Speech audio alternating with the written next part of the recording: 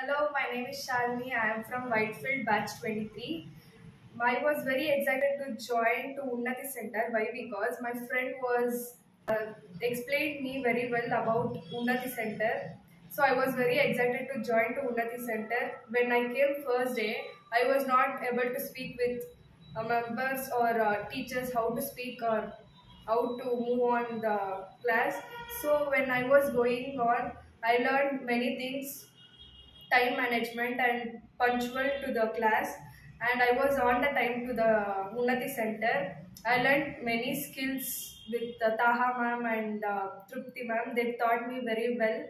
So I am very excited to join the job. So I am getting job now. So thank you.